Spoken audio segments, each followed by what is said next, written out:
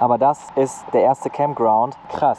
Und das ist halt noch lange nicht alles. Oh la la! Ja, wir stehen jetzt hier wieder. So ein Mist. Nina, braucht ihr Hilfe? Dann bleibe ich hier, ja? Okay. Jetzt schneit es auch noch. Gut, gut. bisschen äh, auf die hin. Auf Gas bleiben, auf Gas bleiben, Gas bleiben, Gas, Gas, Gas, Gas, Gas, Gas. Good morning, ladies and gentlemen, und willkommen zu einem neuen Video. Willkommen in München.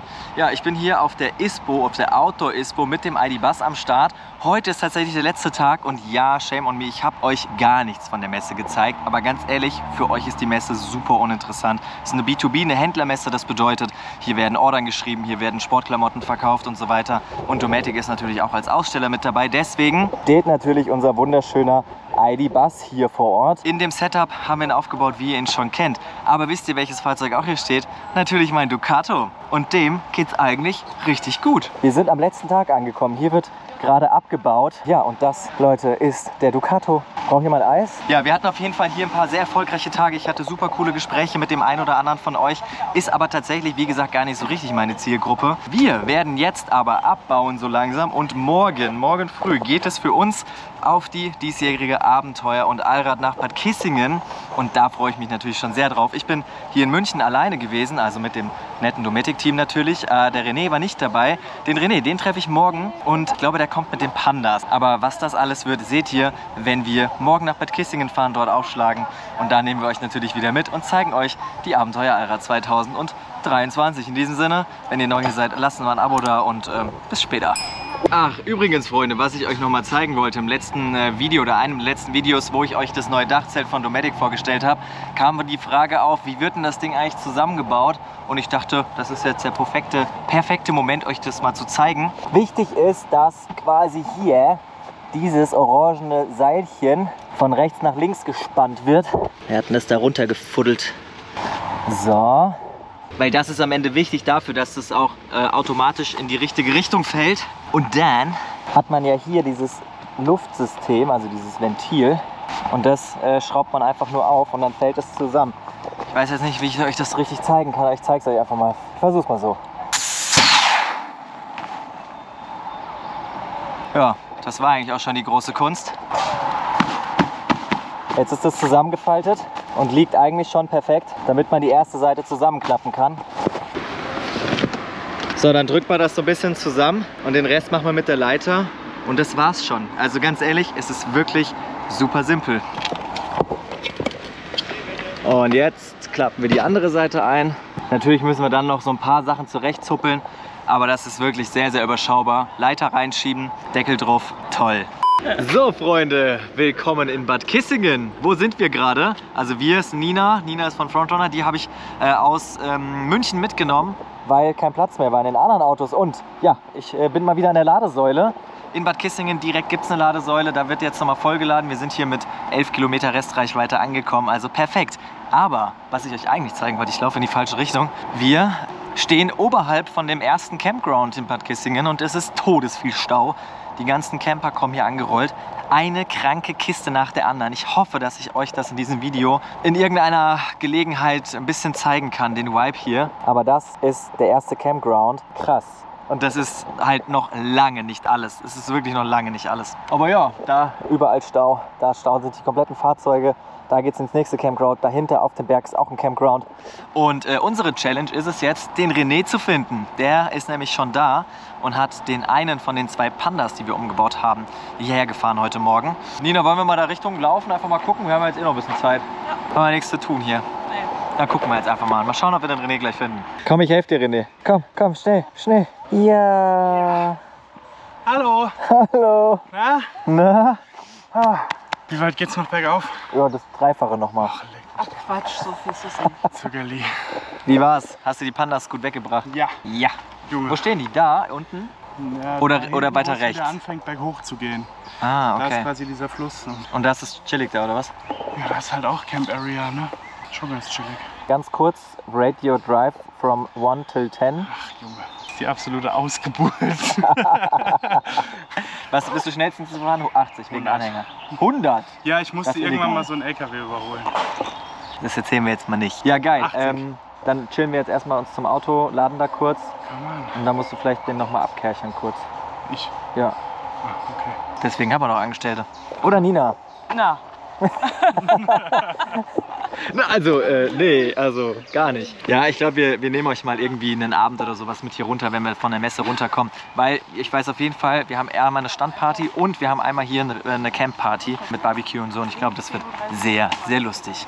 Ähm, genau, nach dem Laden geht es dann hoch zur Messe und erstmal die Karre dahin schmeißen. Aber ich glaube, das wird ganz gut. Wir fahren jetzt auf die Messe. Messe! Hier schon mal die ersten Eindrücke für euch aus dem Camp. Miau. Miau.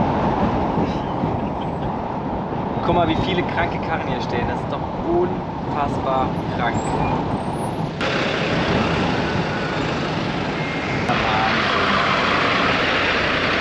Digga, das Ding baut. Junge, das ist ja ein Sechs-Familienhaus. Also hier hätten die Klimakleber auf jeden Fall was zu tun, ne? Schön an so einen Panzer geklebt. Oh la la! Das nächste spezielle Frontrunner-Fahrzeug ist am Start. na? Nass geschwitzt. Ich sag mal so, Stau ohne Fahrtwind, ohne Klima. Wenn die Temperatur Hi Erik, ne? dann langsam Richtung 100 Grad klettert. Ja, wir stehen jetzt hier wieder. So ein Mist. Aber guckt euch mal das an hier. Oh, schön. Also Freunde, mittlerweile habe ich das Cake ausgeladen mit René. Ich war schon auch kurz drin und habe mal den Stand abgecheckt. Ja, wir sind auch kurz, kurz, wirklich ganz kurz äh, vor der Messe. Ja, und da müssen wir nur noch die 800 Kilometer auf der Messe im Stau schaffen. Und dann haben wir es eigentlich auch schon geschafft. Also wirklich eine ganz easy Sache. Das Wetter ist gut und ja. Haben Sie irgendwas zu sagen noch? Ich hab Bock. Ja, hast Bock? Ja. Freust dich? Ja, schon. Freust dich auf unsere Followers? Ja, safe. Nice. Du? Auch auf eure Followers. Schön, ich freue mich auch auf euch. Schauen wir mal, was wird. Schauen wir mal, was wird. Also normalerweise gibt es hier Einweiser. Ich mache jetzt den Einweiser. Hallo. Der ist voll süß, ey. Servus. Alles gut? Na, bei dir? Oh, gut. Sehr gut. Hat mir René schon geschrieben, Der er Bass kommt? ist, ja, ja, der bringt Corona mit. Wow. Es wird ein Kau. The sunny side.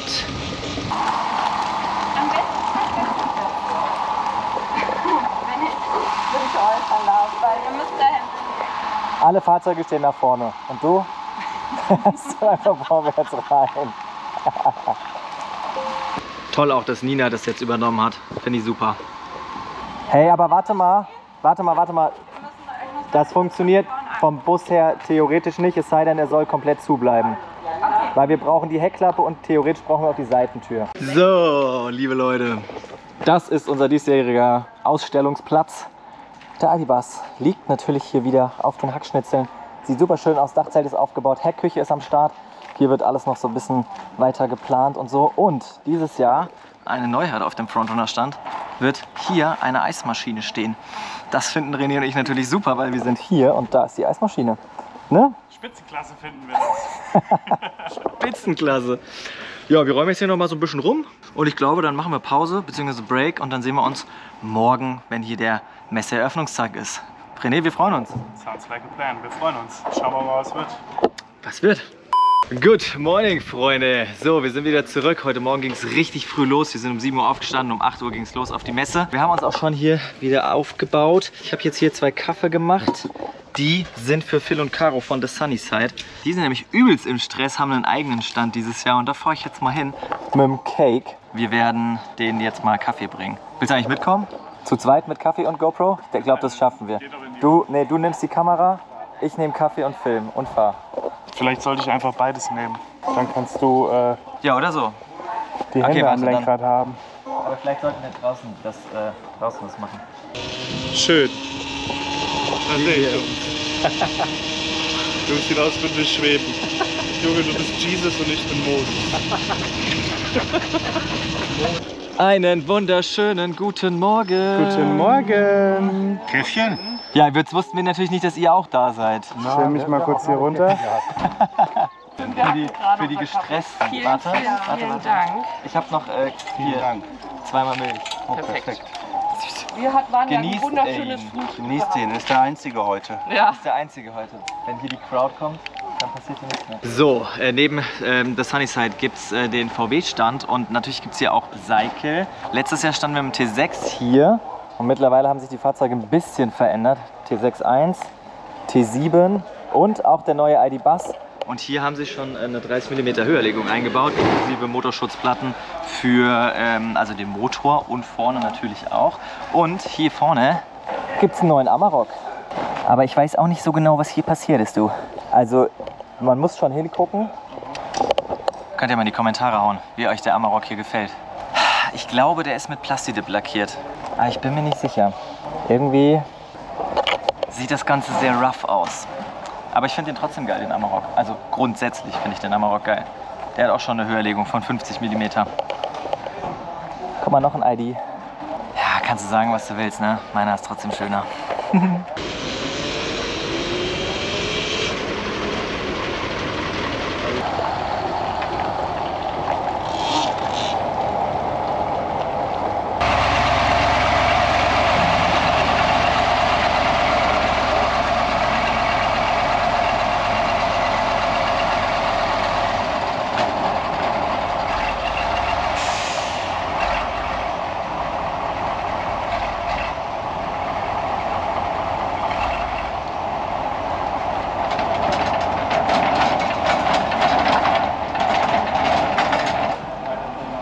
Ihr denn da eine Klimaanlage Hi. für draußen? Moin. Damit es euch draußen nicht so warm ist oder was? Ja, äh, hier Klima, Klimawandel.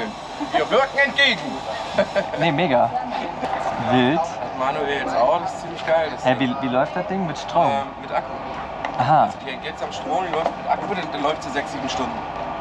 Und macht kalt. Du willst jetzt gerade nicht vom Moped runtergehen, ne? Ich merke das schon. Nee. Kannst du es mir bitte hertragen? Nein, Quatsch. Lass das Ding da stehen. Chillig. Oh ja, das ist kalt. mal das Fliegengitter anschauen. Ja, was ihr gerne. Ja, ja. Ach, das ist ja wild. Ja. Was kostet ein Ding? Ja. Ah, cool. Okay. Nee, ist super, dass ihr euch vorbereitet habt Ja. auf diese Fragen, die ja auf jeden Fall kommen. Kalt. Ja, Freunde, wunderbar hier auf der Messe. Das Zelt hat sich gefüllt. Ich weiß nicht. Nina, braucht ihr Hilfe? Dann bleibe ich hier, ja? Okay. Ja, ist ein bisschen schwierig gerade. Hier geht nämlich die Welt unter. Did you go for shower? Ja. In die Shampoo? Ah ja, sorry, danke, danke. Ich guck mal nach dem hier. Ja, noch ist alles relativ Ich glaube, das ist noch gleich weg. Ich tu wenigstens mal was. Alles für den Content. Komm zu mir, hier regnet es nicht. Nee. Und du gehst jetzt, ne? Oh nein. Baum down. Jetzt schneit es auch noch. Gut, gut. I, I do, I do.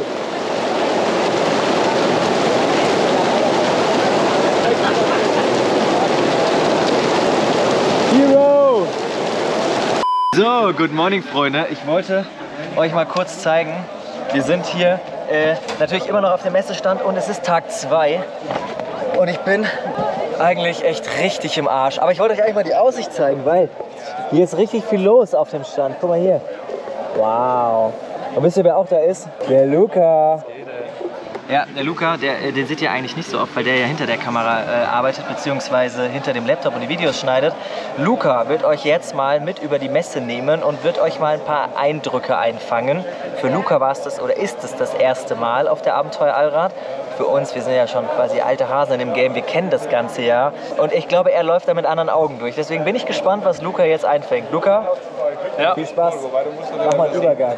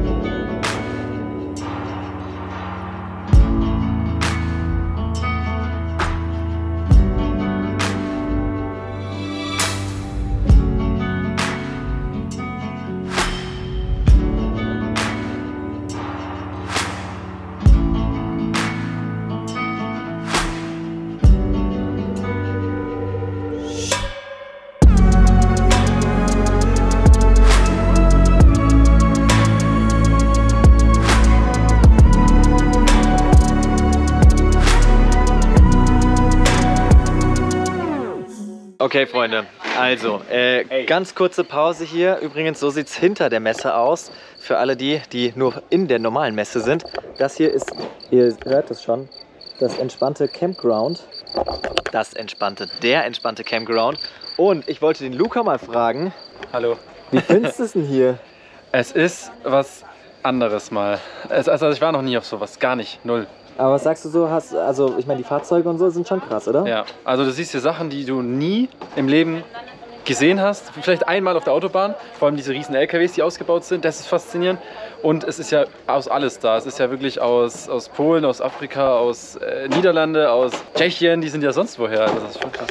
Ja, also ihr seht, die Messe ist unfassbar vielseitig. Wenn ihr noch nicht hier wart, solltet ihr das auf jeden Fall tun. Wir werden gleich im Anschluss an die. Pause LKW fahren gehen. Das habe ich nämlich letztes Jahr schon gemacht. Und die Ladies von äh, 4Wheel24 waren hier gerade und haben gesagt, hey, wenn du Bock hast, die Feuerwehr durch den Offroad-Parcours zu jagen, in Flipflops, dann mach das doch. Und genau das machen wir. Also wir sehen uns gleich in der Feuerwehr wieder. So, Freunde, es ist soweit. Ich muss jetzt hier irgendwie diesen LKW reinkommen. Servus. Das mit dem Spiegel ist Absicht? Ja, das kannst du mal rausdrücken. Aber nur den langt So? Wir haben den so ein bisschen, wir haben den so auf Porno anliegend gebaut. Das ist ein Porno anliegend mit Spiegel. Ne? Porno-Sitze auch hier Ja, drin. Porno-Sitze, ne? alles äh, irgendwie vom billigsten. Jawohl, also willkommen in der Testshow Feuerwehr von 4Wheels24. Hier, Servus. der Chef ist am Start. Die Lady darf, muss fahren. Ja. Die Marie fährt. Genau. Und äh, ja, wir machen jetzt erstmal eine kurze Einweisungsrunde. Ja. Und dann gucken wir mal. Die Jungs Ja. sind auch am Start. Da sind wir. Ja, äh, soll ich ein bisschen was zur Karre sagen? Ja, vielleicht mal ganz kurz unsere, so, ja. unsere, unsere staubige Turbo Else Iveco 9016 haben wir schon seit 15 Jahren. War nicht kaputt zu kriegen bisher und ähm, brauche ich ein bisschen Pflege, ne? aber die wichtigsten Utensilien sind dabei, wie zum Beispiel das, äh, das Weinglas äh, mit der Magnethalterung für, für abends, damit man sich noch sinnlos besaufen kann. Äh, ist ein Allrad-Fahrgestell mit Untersetzung, Differentialsperre mittel und hinten, äh, hat irgendwie knapp 200 PS und wir nutzen das Ding als 7,5 Tonner eigentlich äh, für unsere Touren und für Rallyes als Servicefahrzeug und ja, könnte ein bisschen Liebe gebrauchen, gebe ich zu, aber man gibt ja andere Sachen zu tun, kennst du vielleicht, oder? Du meinst hat immer andere Sachen Ja? zu tun. Ne? Der Schuster trägt die schlechtesten Schuhe. Schuhe, ne? Ja, immer das geht so. mir auch so. Ja, so. so, jetzt kommt das erste, erste Hindernis hier.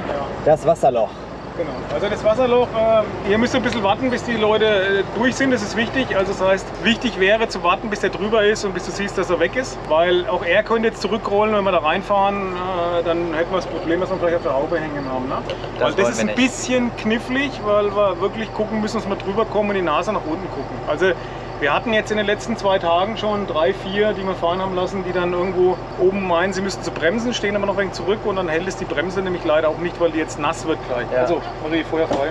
So, wir fahren hier in der Untersetzung im ersten Gang. rein, wenn wir da den Berg runterfahren. Ja. Und berg runter wird es ein bisschen hoppelig, aber er könnte dann selber mal hoppeln. Ne?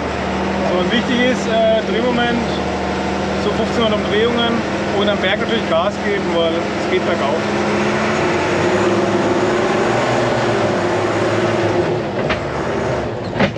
So, Bremsen. Jetzt ist wichtig wirklich, sich mit ein bisschen Dampf auf die Bremse zu stellen, damit man nicht in das Loch reinrumpelt, weil das tut halt den Beifahrern und den hinten Mitfahrern weh. Ne?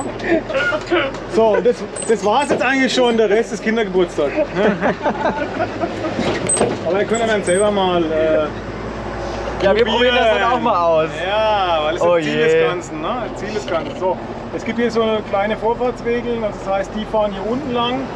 Äh, wenn da jemand kommt, warten wir, bis die vorbei sind. Das ist oft sinnvoller oder wir geben uns praktische Zeichen. Praktische Zeichen äh, ist jetzt, dass er wartet. Und wenn wir hier sind, schalten wir vom ersten auf den zweiten Gang. Wir fahren in der Reduktion, also in der Übersetzung. Äh, hat ja gestern schon geregnet, das heißt, man rutscht auch ein bisschen hier. Macht eigentlich Spaß. Ja, geil. Jungs, wie ist das da hinten? Wunderschön. Wunderschön. Einfach wie Marokko, nur größer. So, ich genieße jetzt die Fahrt und dann springen wir ein, wenn ich fahre. Genau. okay, Freunde, ich würde sagen, es geht los. Sicherheitsschuhe sind am Start. Nicht? Ja. So, ein bisschen mit Nachdruck, ja. Ich glaube, der ist drin. Der ist drin, na, frei. Du So. hast schon. Der ist, Handbremse mal, Handbremse kriegst du auch noch hin, oder was? Ich glaube schon, oder? Ist ja. Auch die Handbremse. Sehr gut, ne? Guck mal, Kupplung, äh, Kupplung geht auch, ne? Kupplung passt. Also ich laber mal ein bisschen rein. Du fährst jetzt einfach, jetzt kannst du dazufahren. Das ist ja alles, äh, lässt den ersten Gang, das müsste langen. Nee, wir haben eine Stahlstoßstange, das scheppert zweimal und dann langt es trotzdem. so, du kannst jetzt da so das Loch kriegen oder ein bisschen mittelschnell fahren, wie du willst. Ja, ich war da mal Rein, Reinrusen ist nicht untersagt, weil ich meine, die, äh, die, das Publikum wird feucht. Das wäre aber auch witzig. Ja, haben wir letztes Jahr zweimal gemacht, sind wir angezählt worden. Ähm, Ja. Muss ich oben drauf bremsen oder lasse ich mich da so Nee, ein pass bisschen... auf, du fährst jetzt äh, hoch, bis die Nase runter geht und dann lass bitte äh, die Kupplung in Ruhe und geh Ja. einfach auf die Bremse. Na, und klappe. Na? Das heißt, und den Bergen brauchen wir ein bisschen Drehmoment, so zwölf, ja, im grünen Bereich halt. Ne? Und wenn es hochgeht, musst du natürlich schon, also wenn es hochgeht, musst du ein bisschen, äh, Und jetzt? bisschen äh, auf. Auf Gas Gas bleiben, Gas bleiben, Gas, Gas, Gas, Gas, Gas, Gas, Gas. Ja, und jetzt Bremse. Jetzt stehst du einfach auf die Bremse, jawohl. Langsam, langsam, langsam, langsam. Jo, hast du gut gemacht, hast du Übung. Du hast bist ja- Führerscheinprüfung bist ja- bestanden. Bist ja, äh, bist ja, bist ja schon mal Supermoto gefahren, oder? Ich bin da schon mal auf Hinterrad gefahren, ja. Ja, also. Du kannst dich ruhig ein bisschen rechts halten, dann wird es ein bisschen spannender, so über den Buckel da mit einem Rad. Dann kriegen wir ein bisschen Schräglage. Hier so, Jo. Im zweiten. So, jetzt, ja, kannst im zweiten fahren, ja. Du bist ja beim Gas. Ja, ne, es macht so ein bisschen auch Geräusche mehr, ne? Geräusche gehören dazu zum Fahren, Fahrgeräusche. Ne?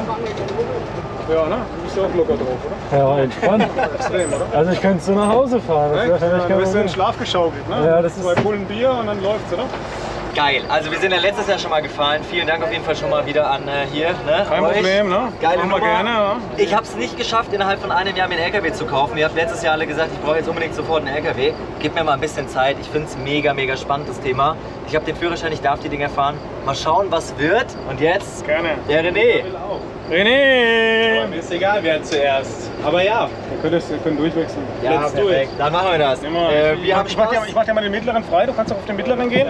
Na Hase, bist schon mal LKW gefahren? sowas Großes nicht, ne? Bist du aufgeregt? Ist okay. Kriegen wir schon hin. Du hast ja auch eine super Beifahrerin. gefahren. Genau. Also Sicherheitsflipflops sind zwar wirklich sehr, sehr oft sehr wichtig, aber beim LKW-Fahren ist Barfuß dann doch ein bisschen besser. Ehrlich. Du wirst gefilmt von allen Seiten. Ja, Mann. Aber no pressure, Bruder, no pressure. Aber wir schreien alle mit, von daher. Jetzt Gas. Gas, Gas, Gas, Gas, Gas, Gas, Gas, Gas, Gas, Gas, Gas, Gas, Gas, Gas. Und Bremse. Und festen Tank. Sehr gut. Perfekt. Super! Oha, easy.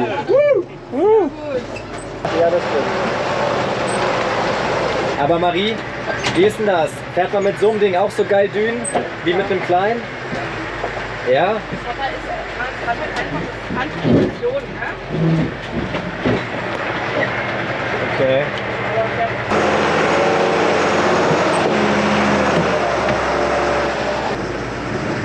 Das ist es.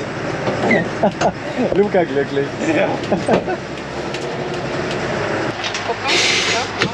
Nach hinten.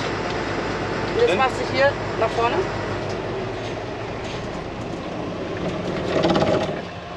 Abgesoffen. Also ich habe mich schnell ausgekriegt Licht aus. Jetzt den Schlüssel noch einmal zurückdrehen. Nee, den unteren, unteren. Ja, perfekt. Das war's. Stecken Ja, lassen. ja. ne? Und? Gang bleibt draußen. Ja. Ja, ist geil. Ich glaube, wir brauchen einen LKW. Da geht auf früh oder lang kein Weg dran vorbei. Die verkaufen den da. Der Luca. Nimm den doch direkt mit.